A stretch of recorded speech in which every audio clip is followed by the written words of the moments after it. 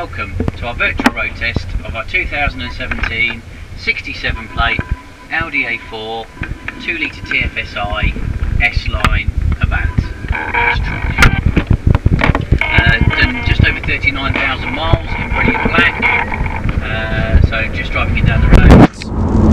Yep, lovely drive, now it started raining which is great as it's all nice and clean. Uh, no squeaks and rattles, nice and tight, gearbox is all really smooth, uh, changing nicely, brakes are good on it, to slow it down.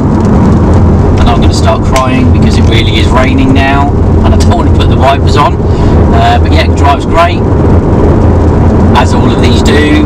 It's Audi service history, basically direct out of Audi. It's a one owner car um, and really nicely spec as well in the brilliant black. It's got the uh, rear privacy glass. We've got leather and Alcantara trim, which is in rotor grey. You've got the rear window blinds, which is just demonstrating for you. Um, it's also got heated seats. It's got the LED, uh, extended LED interior light pack, which looks really good with the uh, door trim surrounds all nicely lighting up. Um, what else? Mirrors. It's got reversing camera as well, which comes up nicely on there in addition to your front and rear parking sensors. So yeah, really nicely spec car. Uh, really nice looking car.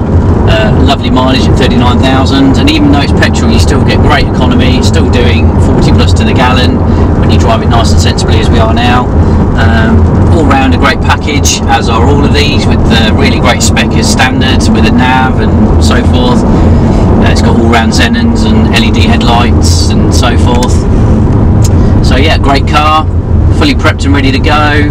We've got uh, lots of images and lots of detail on the advert but if there's any information you'd like or you want to come and test drive it then please feel free to give us a call anytime